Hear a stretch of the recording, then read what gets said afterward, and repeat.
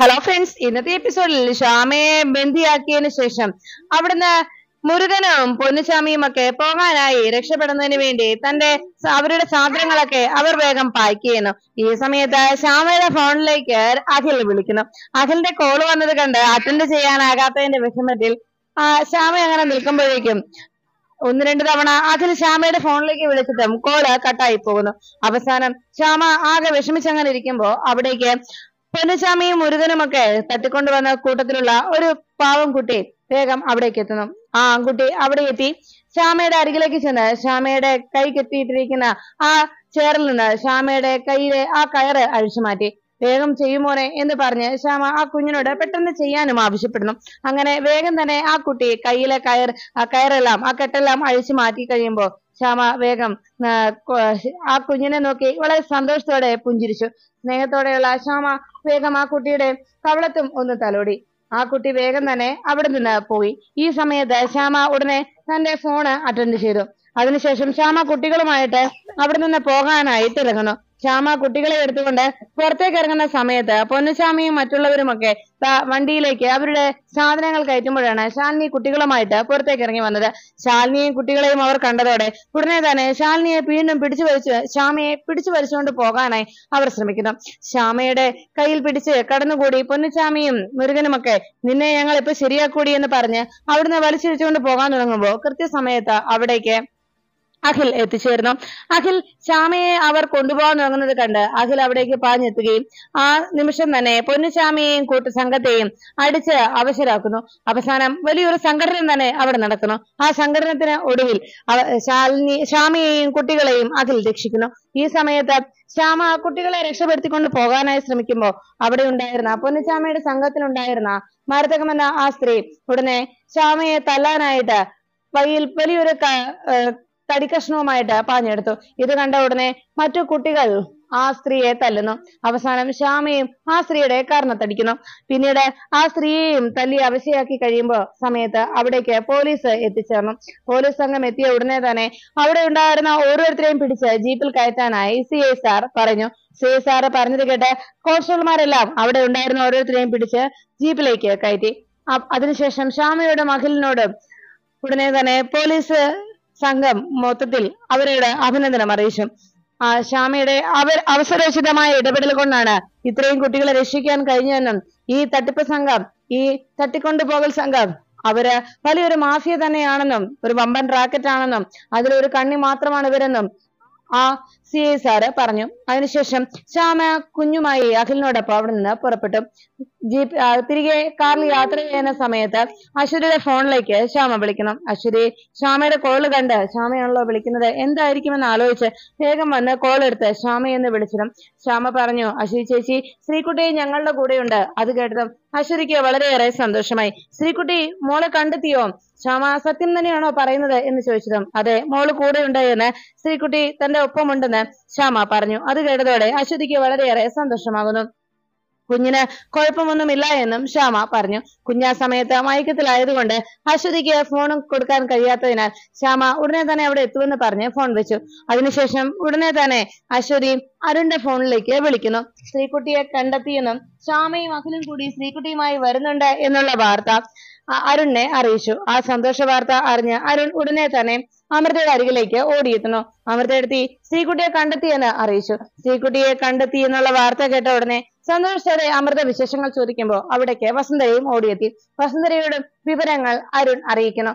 അങ്ങനെ ശ്രീകുട്ടി മടങ്ങിയെത്തി. അല്ലെങ്കിൽ ശ്രീകുട്ടിക്ക് ഒരു കുഴപ്പവും കൂടാതെ ശ്രീകുട്ടിയെ രക്ഷിച്ചു എന്നുള്ള വാർത്ത കേട്ട് ആനന്ദ നിലയത്തിലുള്ള എല്ലാവരും സന്തോഷിച്ചു. ഈ സമയത്ത് ന്യൂസ് ചാനലിൽ ഒരു വാർത്തയെത്തി ശ്രീകുട്ടിയെ രക്ഷിച്ച ശ്രീകുട്ടിയെയും മറ്റു കുട്ടികളെയും രക്ഷിച്ച അഖിലിന്റെയും ശ്യാമയെയും ഇന്റർവ്യൂ ചെയ്തുകൊണ്ടുള്ള അവിടുത്തെ ചാനലിന്റെ റിപ്പോർട്ട് ടി വിയിലൂടെ ലൈവായി വന്നുകൊണ്ടിരുന്നു. ശ്യാമയും അഖിലും ആ തട്ടിക്കൊണ്ടുപോകൽ സംഘത്തെ കീഴ്പ്പെടുത്തിയത് കൊണ്ടും അവരെ വെച്ച് ശ്യാമയുടെ അവസരോചിതമായിട്ടുള്ള ഇടപെടലിനാൽ ആണ് കുട്ടികളെ രക്ഷിക്കാൻ സാധിച്ചത് എന്നും ന്യൂസ് ചാനലിലൂടെ പറയുന്നത് കേൾക്കുന്ന ഐശ്വര്യ ആകെ ദേഷ്യത്തിലാകുന്നു. ഈ ശ്യാമ എന്തിനാ ഇങ്ങനെയെല്ലാം ചെയ്യുന്നതെന്ന് ആലോചിച്ച് കലിയോടെ നിൽക്കുമ്പോഴാണ് അവിടേക്ക് വസുന്ധരയും അമൃതയും എത്തി. ആ വാർത്ത കേട്ട് സന്തോഷത്തോടെ നിന്നു. ശ്യാമയും അഖിലും അവിടെ ചാനലുകാരോട് പറയുന്നതെല്ലാം കേട്ട് വളരെ അഭിമാനത്തോടെ വസുന്ധരയും അമൃതയും നോക്കുന്നു. അതിനുശേഷം ആ ചാനലുകാർ ചോദിച്ചത് ഇതിന് പിന്നിൽ ആരെങ്കിലും ഉണ്ടോ? കുട്ടിയെ തട്ടിക്കൊണ്ടു പോകുന്നതിന് വേണ്ടി ഏർപ്പാട് ചെയ്തത് അതിന് പിന്നിൽ ആരെങ്കിലും ഉണ്ടെന്ന് നിങ്ങൾ സംശയിക്കുന്നുണ്ടോ? എന്ന് ചോദിച്ചപ്പോ ഉടനെ അഖിലും ശ്യാമയും പറഞ്ഞു ഞങ്ങൾക്ക് അതിൽ ചില ആളുകളെ സംശയമുണ്ട്. എന്തായാലും പിടികൂടിയ ആളുകളെ പോലീസുകാർ ശരിക്കും ചോദ്യം ചെയ്യുമ്പോൾ അവരിൽ നിന്ന് തന്നെ ആരായിരിക്കുമെന്നുള്ള സത്യം പുറത്തു വന്നോളുമെന്ന് അഖിലും ശ്യാമയും പറയുന്നു. ആ വാക്കുകൾ കേട്ടതോടെ അമൃത പറഞ്ഞു അതെ അമ്മേ എനിക്ക് സംശയമുണ്ട്. ശ്രീകുട്ടിയെ മോളെ ഇവിടുന്ന് തട്ടിക്കൊണ്ടു പോകാനായിട്ട് കാരണം അതിന് ശ്രീകുട്ടി ഇവിടെ നിന്ന് ആരെങ്കിലും തട്ടിക്കൊണ്ടു പോയെങ്കിൽ അതിന് പിന്നിൽ നമ്മുടെ ഇവിടെ നിന്നുള്ള ആരുടെയെങ്കിലും ഇടപെടലുണ്ടോ എന്ന് എനിക്ക് സംശയമുണ്ട്. ആരെങ്കിലും പറഞ്ഞിട്ടാണോ ആ സംഘം കുഞ്ഞിനെ തട്ടിക്കൊണ്ടു പോയെന്ന് എനിക്കിപ്പോഴും വിശ്വസിക്കാൻ അല്ലെങ്കിൽ ഇപ്പോഴും എന്റെ മനസ്സിനെ അങ്ങനെ ഒരു ചോദ്യം അലട്ടുന്നുണ്ട് എന്ന് ഐശ്വര്യ ഐശ്വര്യ നിൽക്കെ. അമൃത വസുന്ധരയോട് അറിയിച്ചു. അത് കേട്ടതും വസുന്ധര പറഞ്ഞു അഖിലും ശ്യാമയും അത് തന്നെയല്ലേ പറഞ്ഞത്? എന്തായാലും പോലീസ് അന്വേഷിക്കുന്നുണ്ടല്ലോ. ഉടനെ തന്നെ സത്യം പുറത്തു വരും എന്ന് അറിയിച്ചു. അങ്ങനെയാണെങ്കിൽ ആരെങ്കിലും അതിന് പിന്നിൽ പ്രവർത്തിച്ചെങ്കിൽ അവർക്ക് തക്കതായ ശിക്ഷ കൊടുക്കണമേ എന്ന് ഐശ്വര്യയെ നോക്കി അമൃത വസുന്ധരയോട് പറയുന്നു. അത് കേട്ടതിന് ശേഷം വേറെ അഭിപ്രായങ്ങളൊന്നും പറയാൻ നിൽക്കാതെ അവിടെ നിന്ന് ഐശ്വര്യ പുറത്തേക്ക് ഇറങ്ങി പോകുന്നു ഐശ്വര്യ പോയി കഴിയുമ്പോഴേക്കും വസുന്ധരയും അമൃതയും ആ ചാനലിലെ വാർത്ത കേട്ട് സന്തോഷത്തോടെ അഖിലിനെയും ശ്യാമയും കാണുന്നതിന്റെ സന്തോഷത്തിൽ അങ്ങനെ നിന്നു. അതിനുശേഷം അരുൺ അശ്വരിയുടെ അരികിലേക്ക് എത്തിക്കഴിയുമ്പോ അശ്വരി ആകെ വിഷമത്തോടെ ഇരിക്കുന്നു. എനിക്ക് എന്റെ മോളെ കാണണം. എത്ര നേരമായി എന്ന് ചോദിച്ചപ്പോ അരുൺ പറഞ്ഞു ഹാ ഇപ്പൊ നമ്മൾ ശ്യാമയും അഖിലിനെയും വിളിച്ചതാണല്ലോ. അവരിവിടേക്ക് എത്താറായെന്നല്ലേ പറഞ്ഞത്? എന്ന് പറഞ്ഞപ്പോ എനിക്ക് ഇപ്പൊ തന്നെ എന്റെ മോളെ കാണണമെന്ന് പറഞ്ഞുകൊണ്ട് അശ്വതി കരയുന്നു. അപ്പോഴേക്കും ശ്യാമയും അഖിലും കുഞ്ഞുമായി അവിടേക്ക് എത്തി. അശ്വതി അമ്മയെ കണ്ട ഉടനെ തന്നെ അമ്മയെന്ന് അവിടെ നിന്ന് വിളിച്ചു. ആ വിളി കേട്ടതും മോളെ എന്ന് വിളിച്ചുകൊണ്ട് പെട്ടെന്ന് ചാടി ഇരുന്നിട്ട് ശ്രീകുട്ടിക്ക് അരികിലേക്ക് അശ്വതി ഓടിച്ചെല്ലുന്നു. മാറി മാറി ശ്രീകുട്ടിയുടെ കവിളത്ത് ഉമ്മ കൊടുത്തു. അതിനുശേഷം മോളെ എന്റെ പൊന്നു മോളെ എന്ന് വിളിച്ച് ശ്രീകുട്ടിയെ സ്നേഹത്തോടെ മാറോട് ചേർക്കുന്നു. അതെല്ലാം കണ്ടങ്ങനെ അരുണം നിൽക്കുന്നു. അതിനുശേഷം അരുണങ്ങൾ എന്ന് വിളിച്ചപ്പോഴേക്കും അരുണം ശ്രീകുട്ടിയെ ചേർത്ത് പിടിച്ച് മോളെ മാറി മാറി മോളുടെ മുഖത്ത് ഉമ്മ കൊടുത്തതിന് ശേഷം മോളെ മോളെ കാണാതെ അങ്കിൾ വല്ലാതെ വിഷമിച്ചു എന്നറിയിച്ചു. ഉടനെ ശ്രീകുട്ടി പറഞ്ഞു അതെ അങ്കിളിനെ അമ്മയും കാണാതെ ഞാനും വല്ലാത്ത സങ്കടത്തിലായിരുന്നു എന്ന് ശ്രീകുട്ടി പറയുന്നു. അതിനുശേഷം ശ്രീകുട്ടിയോട് അരുൺ പറഞ്ഞു എന്നാ നമുക്ക് പോകാം മോളെ. അവിടെ മുത്തശ്ശിയും അമൃതാന്റിയും ഒക്കെ മോളെ കാത്തിരിക്കുക എന്ന് പറഞ്ഞപ്പോ ശ്രീകുട്ടി പറഞ്ഞു ഇന്ന് ഞാൻ വരുന്നില്ല അങ്കിൾ എനിക്ക് ഇന്ന് എന്റെ അമ്മയോടുകൂടെ കഴിയണം. അത് കേട്ട ഉടനെ അരുണാകെ പ്രശ്നത്തിലായി. അയ്യോ അത് ശരിയാവില്ല മോളെ. അവിടെ എല്ലാരും അന്വേഷിക്കില്ലേ? മോൾ വന്നിട്ട് ഇതുവരെയായിട്ടും ചെന്നില്ലെങ്കിൽ എല്ലാവരും ചോദിക്കില്ലേ? എന്ന് പറഞ്ഞു. അത് കേട്ട ഉടനെ എത്ര പറഞ്ഞിട്ടും ശ്രീകുട്ടി അതിനെ സമ്മതിക്കുന്നില്ല. ശ്രീകുട്ടിക്ക് ഇന്ന് അമ്മയുടെ കൂടെ നിൽക്കണമെന്ന് അങ്ങ് വാശിയായതുപോലെ സംസാരിച്ചു. അത് കേട്ട ഉടനെ ശ്യാമ പറഞ്ഞു ഏട്ടാ എന്തായാലും മോൾ ഇത്രയൊക്കെ പ്രശ്നങ്ങൾ കഴിഞ്ഞ് തരണം ചെയ്ത് വന്നതല്ലേ? മോളുടെ മനസ്സ് വല്ലാതെ വേദനിച്ചിട്ടുണ്ട്. മോളുടെ മാനസികാവസ്ഥ കൂടി നമ്മൾ കണക്കിലെടുക്കണം. അതുകൊണ്ട് ഇന്നൊരു ദിവസത്തേക്ക് അശ്വതി ചേച്ചിയുടെ കൂടെ മോൾ കഴിയട്ടെ എന്ന് പറഞ്ഞു. ഉടനെ അഖിലും പറഞ്ഞു അതെ ഏട്ടാ ഇന്നത്തെ ഒരു ദിവസമല്ലേ? അതെങ്ങനെയെങ്കിലും ഏട്ടൻ അഡ്ജസ്റ്റ് ചെയ്യാം. അതുകൊണ്ട് ഇന്ന് മോൾ ഇന്ന് അശ്വതി ചേച്ചിയുടെ കൂടെ കഴിയട്ടെ. നാളെ രാവിലെ വരെ കൂട്ടിക്കൊണ്ട് പോയാൽ മതി എന്ന് പറഞ്ഞു. ഉടനെ അരുൺ എന്നാ ശരി അങ്ങനെ ആവട്ടെ എന്ന് അരുൺ സമ്മതിച്ചു. അത് കേട്ടതോടെ ശ്രീകുട്ടി അഖിലിനോടും ശ്യാമയോടും നന്ദി പറയുന്നു.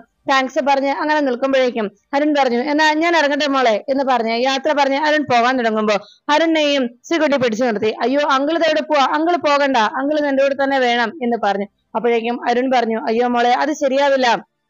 അങ്കിളിന് പോണം എന്ന് പറയുമ്പോ വീണ്ടും ശ്രീകുട്ടി ആകെ വാശി പിടിക്കുന്നു. അങ്കിൾ അങ്കിൾ ഇന്ന് ഇവിടെ വേണം. ഇല്ലെങ്കിൽ ആ പൊന്നിച്ചാമിയും മരു- മുരുകനും ഒക്കെ ഇനിയും വന്നാലോ? അങ്കിൾ ഇവിടെ ഉണ്ടെങ്കിൽ അവരാരും വരില്ല. എനിക്ക് യാതൊരു പേടിയുമില്ല എന്നൊക്കെ പറഞ്ഞു. അവസാനം ശ്രീകുട്ടിയുടെ ആ നിർബന്ധം കേട്ടതോടെ ശ്യാമ പറഞ്ഞു അതെ അരുണേട്ടാ കുറച്ചു നേരം കൂടി മോളുടെ അരികിൽ നിൽക്ക്. മോൾക്ക് വല്ലാതെ പേടി തോന്നിയിട്ടുണ്ട്.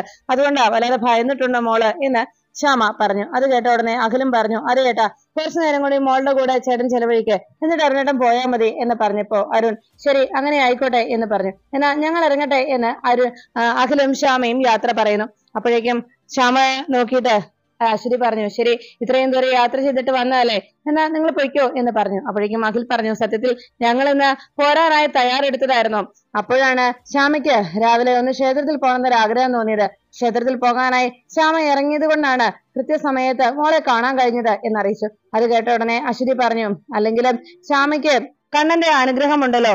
കണ്ണൻ എപ്പോഴും ശ്യാമയുടെ ഒപ്പമുള്ള ആളല്ലേ? അതുകൊണ്ട് തന്നെ ശ്യാമയെ അങ്ങനെ തോന്നിപ്പിച്ചതായിരിക്കും കണ്ണൻ ശ്രീകുട്ടിയുടെ ഭാഗ്യം കൊണ്ട് എന്ന് ഉടനെ അശ്വതി അറിയിച്ചു. എന്നാ ശരി ഞങ്ങൾ ഇറങ്ങട്ടെ എന്ന് പറഞ്ഞ് എല്ലാവരോടും യാത്ര പറഞ്ഞ് അകലും ശ്യാമയും അവിടെ ഇറങ്ങുന്നു.